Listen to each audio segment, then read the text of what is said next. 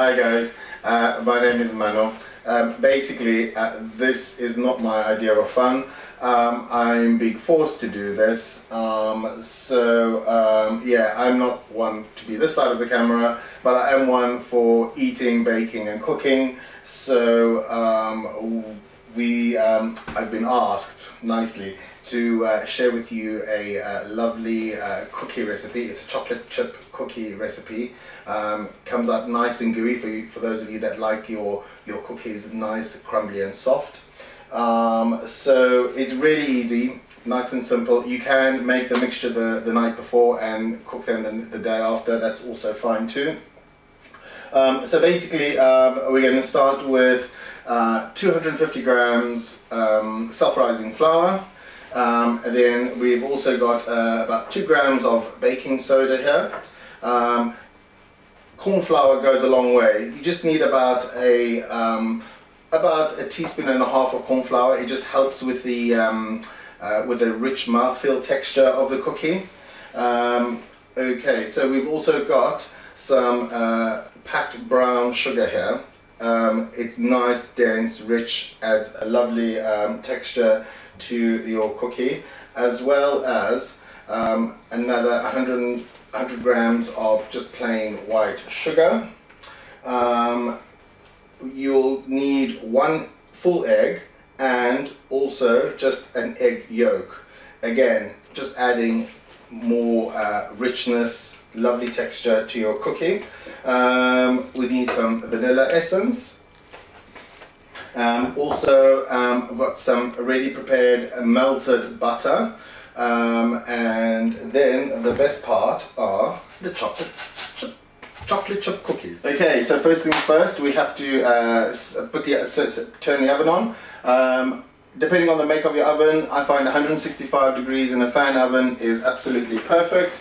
So I'm just going to flick that on. 165. So while that's heating up, we'll be combining uh, the ingredients together. But first things first as well, we need to wash our hands. So, okay, so the oven is set, um, and we're going to combine all our ingredients together. Um, in this bowl, I have uh, the melted butter. Now the thing to remember is um, your butter mustn't be too hot. So once you melt it, let it come down a little bit. Uh, and what you do is you add your uh, dark brown sugar.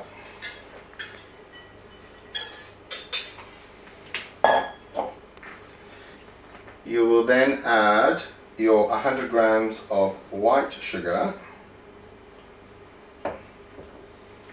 and then just give that a good stir.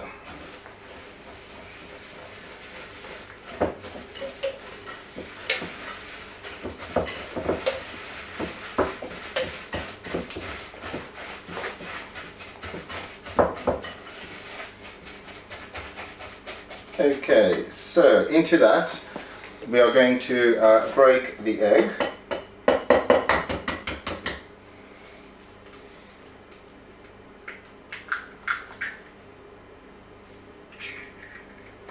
And additionally, we are going to add the egg yolk.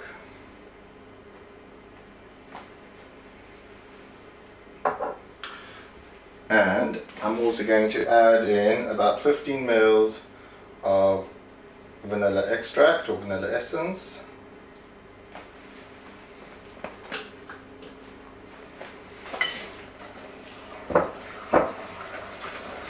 And then just give that a nice good stir.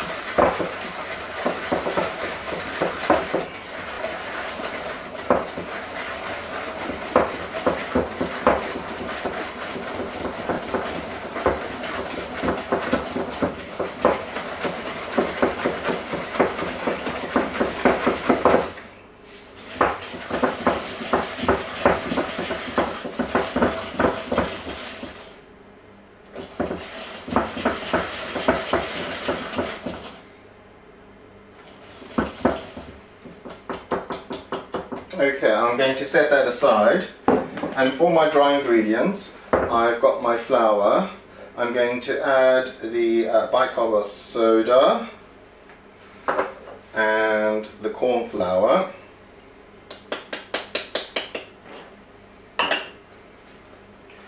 Obviously do remember to sift your flour beforehand.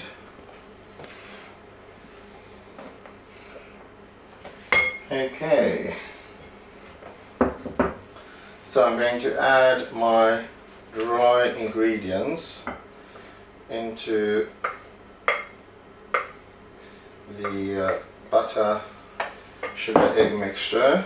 Just give that a bit of a mix.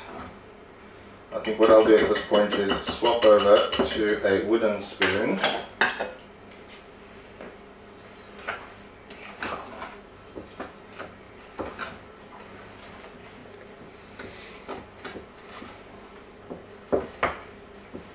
Then add the remaining flour.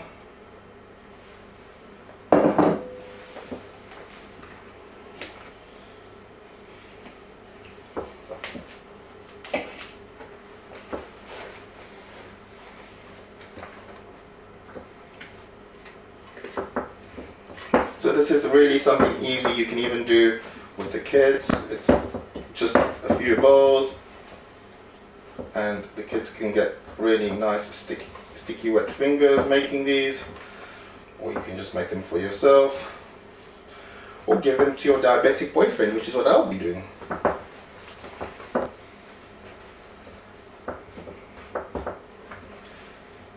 Okay, once that's come together nicely we can now add our delicious dark chocolate chips. You can use milk chocolate or dark chocolate, whichever you prefer.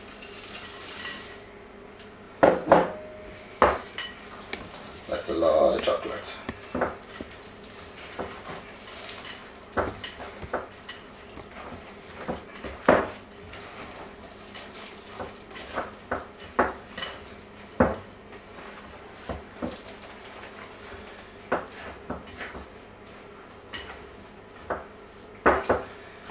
What you might find is that sometimes when you make cookies, they spread up quite, they go quite flat, and um, they can um, sort of um, cook into each other. The way to go around this is to uh, refrigerate your mixture, make it uh, cooler. Um, so if you pop it in the fridge, bring the temperature down, um, and that will help you uh, maintain the shape of the cookie and uh, give you a little bit more body in the center of the cookie, which is what we will do. So we'll pop this in the fridge and then um, we'll go on to the next bit, which will be to get the cookies into the oven. Okay, once our mixture has cooled, we take it out the fridge.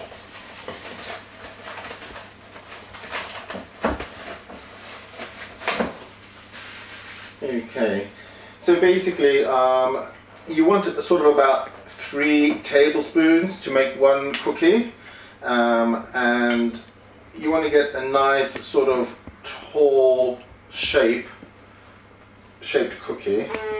Now I know what you're going to say that it looks like but it won't taste anything like that. Um, and what you do is you just sort of stack them up high.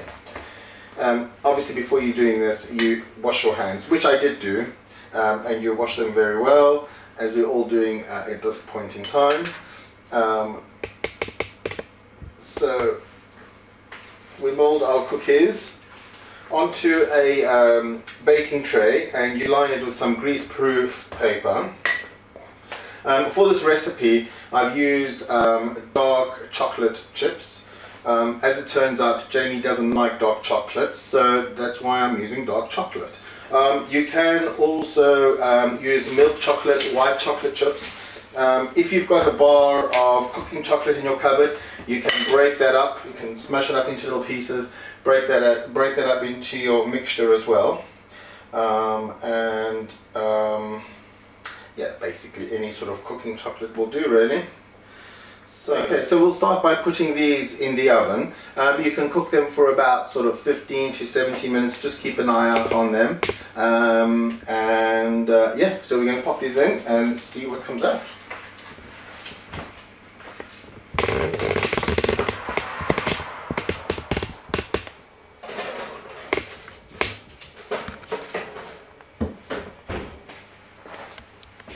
Okay, so these have been in the oven for about 15 minutes. They smelled absolutely delicious. Let's have a look.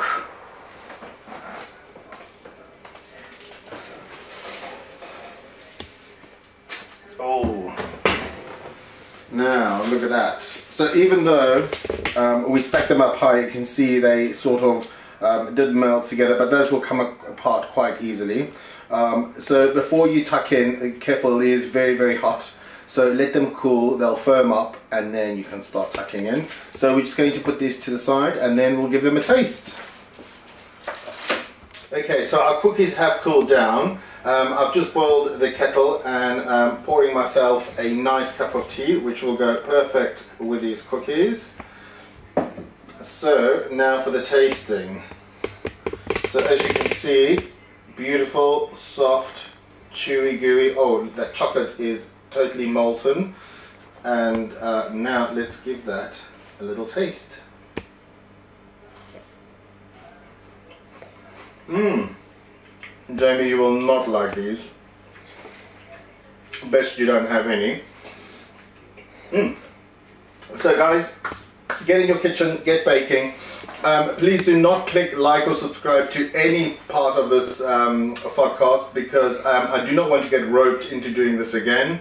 Um, on the plus side, I get to boss Jamie around for once, but hopefully this will be my first and last time.